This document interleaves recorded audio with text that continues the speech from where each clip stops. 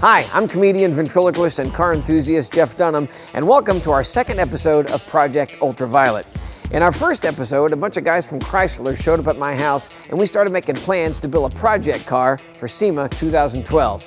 Not long after that, we headed over to a dealership in downtown Los Angeles and picked it up this beautiful 2012 Challenger. Well, now it's time to tear this car down so we can build it back up. We're at Alan Palmer's shop in Camarillo, California, Palmer's Customs, and all these guys are getting ready to tear this thing apart. But let's see all that in a montage.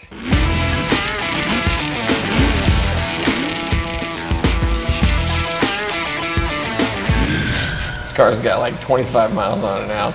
Uh, you should have seen the salesman, you know, when they handed me the keys and I drove it out of there. They, they looked sad. They looked like they were losing a best friend because this was, you know, the six speed, all black in LA. Right. Hard to come by. The rare one. Yep. But now I guess you're getting ready to take things apart.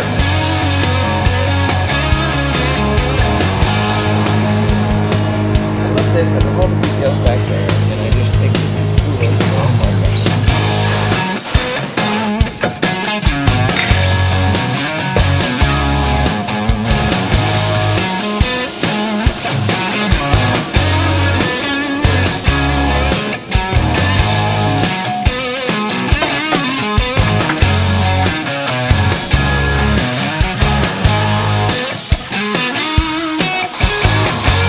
So if you walked into a repair shop where your car's being worked on or fixed or whatever, and uh, they told you it was going to be two weeks and you'd be driving it, and it looked like this, would you believe them?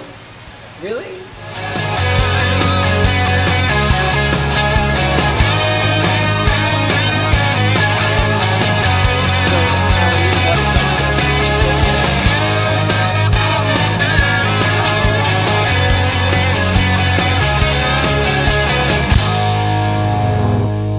Let's take a look at what's in that big giant box that Mopar sent us. I think I know what it is. It needs to go into that car. It needs to go in that car, so we need to take this off. Let's take a look here. 426 crate engine from Mopar. Um, a beautiful piece of machinery, and uh, a couple surprises coming up that uh, are really special. And now Mark from SRT is back in town to take a look at our progress and see what he thinks. I think he's going to be impressed. So, Mark, uh, uh, last time we were in town, we talked about uh, the, the purple, the color, and we also talked about some things that we wanted to change on the vehicle. And I know you got your guys, uh, you got your guys to do some renderings. It looks pretty cool. We we we, yeah, we did some. We took the liberty of doing a whole bunch of sketches based on kind of a you know a purple color on your suggestion. The purple, I wanted to go after. It's my favorite color, but I just think it would look awesome on this vehicle. And way back when, in the 70s, they had Plum Crazy on the Dodge side. And then what I thought was funny on the Plymouth side, they had uh, In Violet, which was the exact same color. Uh, they just changed the name. So, Alan, uh, let's see what we got. There's two different purples. Well, these are. The purple is very similar. this is going to be a Hot Wheels car. This is, uh, you know, and so I, I love this. I Right. think uh, this is awesome. All right, so show me what we got. So what we looked at is you know the diffuser area, Yep. taking and trying to define the the shapes a little bit more, and Right. really kind of calling out, putting some sections on to show. You know what does it want to translate into into the to the real car? That So- looks great. We're at the rear of the car now, and uh, Justin is down here working on the rear diffuser. getting the lower piece now made so that we can finish off the inner corners and our lower fins for the diffusers.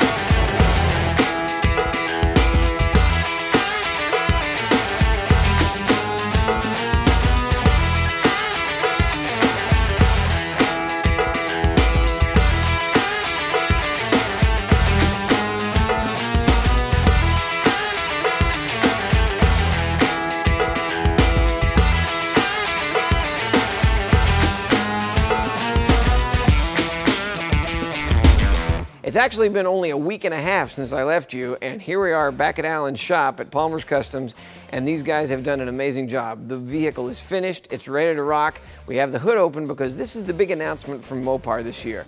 Sitting in this vehicle right now is a brand new Generation 3 426 Hemi engine crate motor from Mopar.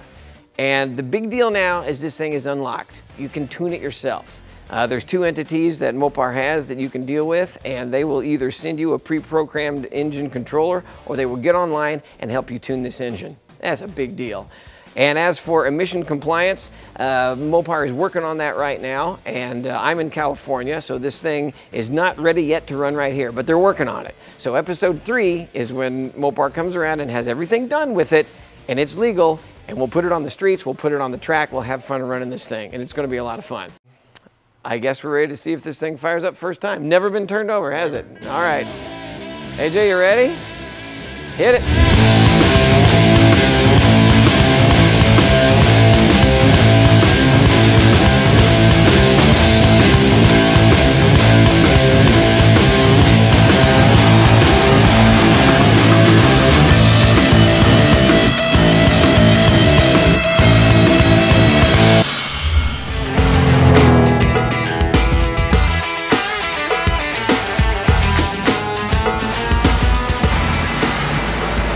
Vegas, right?